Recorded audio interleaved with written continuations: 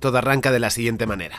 Nos localizan en el espacio, en una ciudad moderna. Nos sitúan en el tiempo, primero 16 de junio de 1988, luego 30 años después. Y por último nos presenta una enorme explosión que lo manda todo al carajo. Esa bomba desató un enorme poder que transformó toda la sociedad. Con unos pocos frames, con lo básico, Otomo ha sido capaz de introducirnos los elementos principales de esta historia, el dónde y el cuándo, pero sobre todo nos está dando una pista sobre el eje central de su argumento, el poder. La verdad es que nunca me había parado a pensar lo que gira la trama alrededor de este concepto. Y fue gracias a mirar vídeos de otros youtubers para preparar el mío que me di cuenta, ahora, que no hay análisis de Akira donde no se mencione esa palabra poder. Y es que esta idea está muy presente durante todo el metraje y se muestra en muchos niveles. Tenemos niños con poderes sobrenaturales, a Tetsuo intentando controlar el poder de un dios, al ejército dando un golpe de estado para lograr el poder político, y a la banda organizada a la que pertenece Kai luchando por desestabilizarlo. Por si fuera poco, los científicos quieren estudiar y comprender el poder que desató la bomba, por no mencionar que la ciudad se está cayendo a pedazos, lo que hace que otro poder se dispute en distintos escenarios, como el poder por el control de las carreteras que hacen los Bosozoku de Kaneda o de la banda de los payasos y lo mismo pasa con el control del espacio público disputado entre manifestantes y cuerpos de seguridad del Estado. En definitiva, el tema central del anime es el poder, y en este vídeo vamos a analizar las distintas formas que presenta en Akira.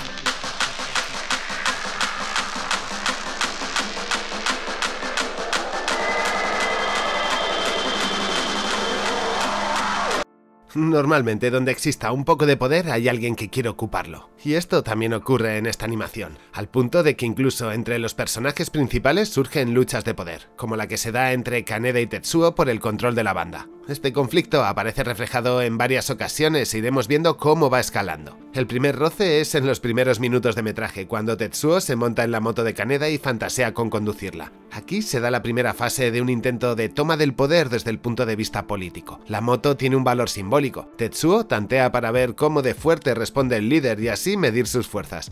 Kaneda, que no es tonto, lee perfectamente lo que está sucediendo y le manda un mensaje cargado de fanfarronería. Lo siento, pero está hecha a mi medida. Es demasiada moto para ti.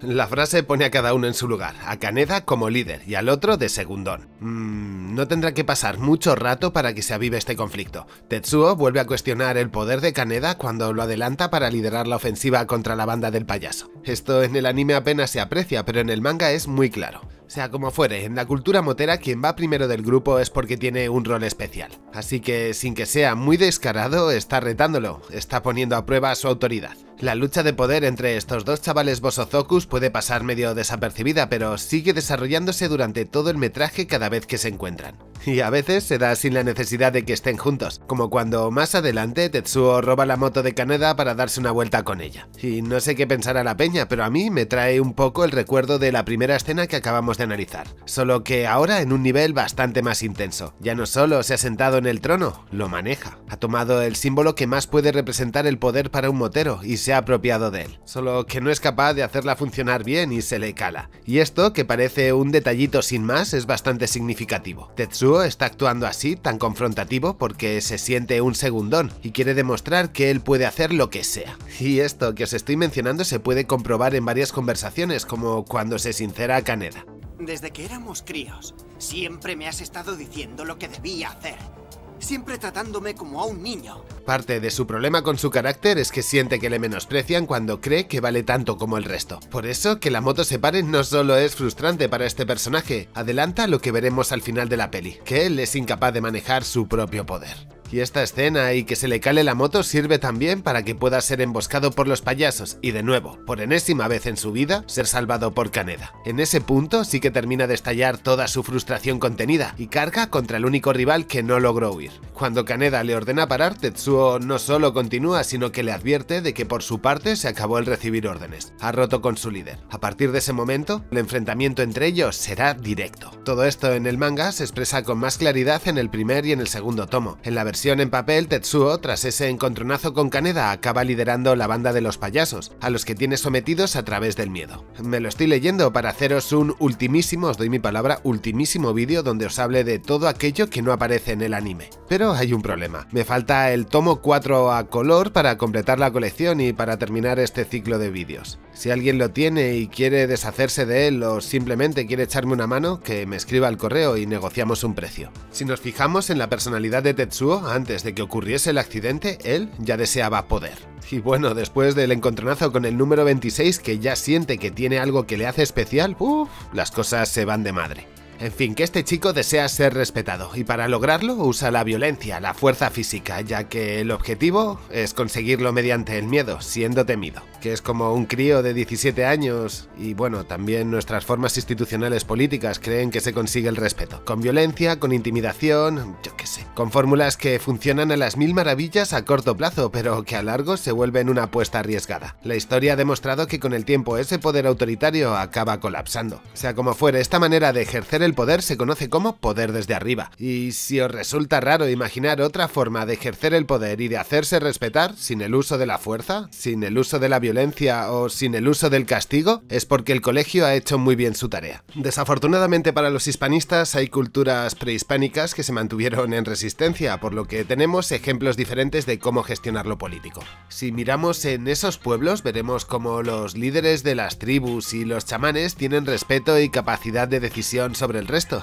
que al fin y al cabo eso es el poder, pero no lo logran por la fuerza. La estrategia que aplican es la generosidad, ser buenos mediadores con capacidad de solucionar conflictos y por supuesto de intervenir sin sacar provecho propio. No es descabellado que si alguien actúa siempre así y un día te solicita algo, cuando menos lo consideres. Son dos maneras de ejercer el poder, el que nace desde abajo, fruto del diálogo, y el que se impone desde arriba, a través de la violencia. También pensadlo, si no tienes una policía para dar palos y que hagan lo que tú dices, necesitas que te obedezcan de otra manera. En esas culturas al final los jefes están sometidos a toda la tribu. Así que podríamos hablar de una forma de poder generosa, fruto de alianzas voluntarias, pero bueno, vamos a dejar este tema y volvamos con Akira. Y ya de paso vamos a ir cerrando ya el conflicto entre Tetsuo y Kaneda, aunque bueno, este tema daría el solito para un vídeo. Lo que nació como la por el control de una banda de Bosozokus ha ido escalando y se ha vuelto un enfrentamiento directo a muerte entre lo humano contra lo que escapa a nuestro conocimiento. Si nos fijamos, Tetsuo al principio del metraje estaba buscando poder, sentándose en la moto de Kaneda, que era lo más alto a lo que él podía aspirar. Pero al final del metraje, él ha encontrado su propio trono. Si os interesa saber de qué os estoy hablando, pues ya lo analicé en el vídeo de Akira, el poder de un dios,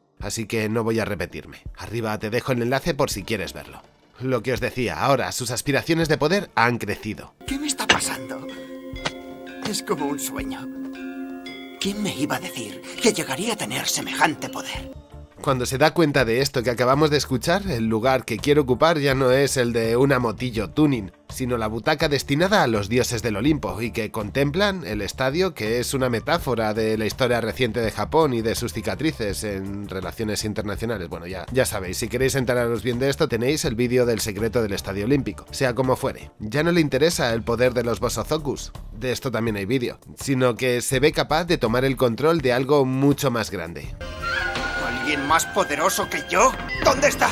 ¿Dónde está ese al que llamáis Akira? En fin, que la historia de Tetsuo es la de alguien que se emborracha de poder y que no lo gestiona bien. Si, si ya saben cómo me pongo, ¿para qué me invitan? Dios, no puede ser más legendario este vídeo, más boomer, no lo sé bien. Estáis frente a un caso de poder absoluto gestionado por un resentido. Da miedo, ¿eh? Aunque quien no conoce ejemplos de estos, y que además han ocupado cargos públicos. Y como cierre al tema de la relación entre Kaneda y Tetsuo, daros cuenta de que antes de que el poder erosionase su relación eran amigos. No se lleva bien este concepto con las relaciones personales. Y bueno, saliéndonos ya del tema, cada vez que Tetsuo está intentando aprender a manejar su poder, los militares hacen lo posible por controlarlo. Y aquí hey, tenemos otra faceta del poder. Es si de llegar a ser tan poderoso como Akira, seríamos capaces de tenerlo bajo nuestro control. A lo tonto, en lo que llevamos de vídeo ya hemos visto la lucha de poder y cómo funciona, la idea de poder como fuerza incontrolable que se expresa a través de Tetsuo, y ahora es turno, mediante el sargento, de profundizar en la idea del poder como capacidad de controlar a otro. Una de las mayores obsesiones del sargento es sacar partido de los experimentos. Este personaje representa cuando el poder se mezcla con la ambición, y eso queda en contraposición de Tetsuo, que está manejado por la frustración. El motorista solamente quería encontrar su sitio, ser respetado, tener estatus, mientras que para el militar existe una vinculación muy estrecha entre el poder y el control. No debería costarnos demasiado trabajo tenerlo bajo control.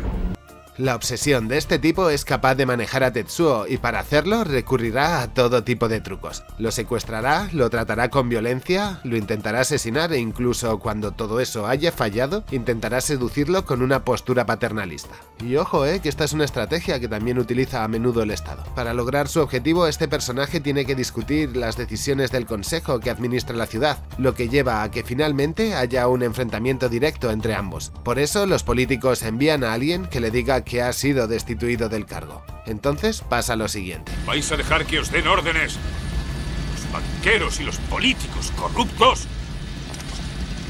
Uf, dejando de lado lo actual que es esta frase y que sirve para tantísimos contextos, pero siempre para las mismas personas, lo que acabamos de ver es un golpe de estado que va a generar un enorme vacío de poder que terminará de descomponer la ciudad. A partir de ese momento, lo que queda de la película es caos, destrucción y desorden. Por otro lado, Akira es una obra que explora el poder no solo a través de sus personajes, sino que lo hace por medio de la ciencia, la política, la tecnología y la psicología. En Akira, el conocimiento deja de ser un fin en sí mismo para volverse una simple herramienta que ayude a alcanzar el poder. De esta manera la animación nos está dando una visión pesimista de la ciencia que se ve al servicio en exclusiva de intereses oscuros y personales, por no mencionar lo poco ética que se muestra realizando experimentos con niños. En el primer análisis que hicimos sobre Akira y el Estadio Olímpico hacíamos hincapié en los experimentos japoneses para ganar la guerra. Ahí vemos cómo la ciencia se manifiesta como un poder al servicio del mal. Junto a esto, la política también tiene un papel importante en el concepto de poder de Akira. Esto lo podemos ver a través de un personaje llamado Nezu. Él es miembro del consejo que maneja la ciudad y a la vez conspira en secreto junto a los revolucionarios. Su idea final es calentar a la población la cabeza con Akira para que los más fanáticos den un golpe del que se pueda aprovechar él. Es decir, esto que os acabo de contar nos habla sobre cómo el poder político es usado para controlar y manipular a las masas. Continuando con otro de los puntos importantes, la tecnología, sobre todo el acceso a ella, también marca un punto de inflexión que distingue al que manda de los que son mandados. Y eso lo vemos en detalle durante todo el metraje desde la capacidad para reprimir manifestantes al uso de tecnología ultra puntera. Además, los experimentos e investigaciones que hicieron les dieron acceso a un nuevo poder, a un nuevo conocimiento. Y yo que sé, tras tanta oscuridad os puedo decir algo positivo, y es que en Akira se muestra que el poder no siempre está en manos de aquellos que tienen control tecnológico militar. Tetsuo o Akira representan un poder que no puede ser controlado ni manipulado por el gobierno, el poder de la mente. Y sobre esto es interesante reflexionar sobre cómo Otomo diseña una figura de contrapeso al poder. Además una que surge en las clases populares, bosozokus y trabajadores. Aunque es cierto que en el anime no queda demasiado claro cuál es el origen de esos activistas. Eso sí, en el manga se ve claramente que son trabajadores de la construcción algunos. O que por lo menos no han tenido ningún problema para infiltrarse ahí. En cuanto a los bosozokus, estos se encuentran con la situación no son conscientes o cuanto menos no hacen demasiado caso hasta que no se ven desbordados por los acontecimientos, haciendo que ellos mismos se impliquen. Son tal cual las clases populares de la vida real, o por lo menos así se comportan ante cualquier estallido social. Participan porque los acontecimientos les han sobrepasado, pero si no les afecta directamente difícilmente los volverás a ver ahí. Que antes era gente dispuesta a dar su vida o su libertad por el cambio y que actualmente es un... Me, jode decir esto, ¿eh? pero es un picadero de ninis. Una pena porque que exista este tipo de contrapesos es importante, yo que sé, para, por ejemplo, que no te recorten los derechos laborales que consiguió tu abuelo y que logró por estar en resistencia. En resumen, Akira presenta una visión compleja del poder, retratándolo como algo que puede estar presente tanto en la sociedad como en las propias personas y que puede tener efectos muy negativos si acaba en malas manos. Esta historia nos lanza un mensaje que los japoneses aprendieron en Hiroshima y Nagasaki. Existen formas de poder para las que no estamos preparados o que no sabemos cómo usarlas sin destruirnos en el camino. La conclusión a la que llego respecto al tema del poder en Akira la encuentro a través de Tetsuo. La adquisición de poder no solo lo hace más fuerte, sino que también desencadena su descenso a la locura. La obsesión por el poder y la necesidad de tener control sobre su vida y sobre su entorno son factores que contribuyeron a su decadencia psicológica, y eso es lo que suele suceder cuando la gente se emborracha de poder, o al menos se obsesiona con ello, que acaba consumiéndose. Y bueno, como en cada vídeo de Akira os voy informando de cómo avanza la película. Los ilustradores ya hicieron las 90 miniaturas que al final salieron, y los informáticos están preparados preparando la web mientras yo monto el DVD. Necesitamos ayuda con el diseño de marca, el logo, el favicon, los colores que queremos que tenga el proyecto y también con una tipografía. Ah, y yo necesito ayuda con las imágenes del DVD. El domingo vamos a hacer una reunión para ir dándolo forma. 22 horas de España, 18 en Argentina, 17 en Chile, Perú, Ecuador y 15 en México, me parece. ¿eh? Espero que los ilustradores anden por ahí. Si hay alguien nuevo que quiere participar en el proyecto, que me escriba al correo electrónico y le paso el Y ahora quiero saludar a la gente del Patreon por ayudarme a seguir con esto, y os digo de corazón que sois muy necesarios. ¿eh? Por otro lado, también quiero mandar un mensaje muy especial a Yurivich, que se desuscribió y no sé si le mandé el dichoso llaverito, así que escríbeme al correo si no lo hice. También quiero saludar a la gente que busca mis vídeos, aunque no se lo recomiende la plataforma. Muchas gracias. Y ya está, esto ha sido todo por hoy. Soy Sarnosin, estás en la Filmo y nos vemos en los vídeos.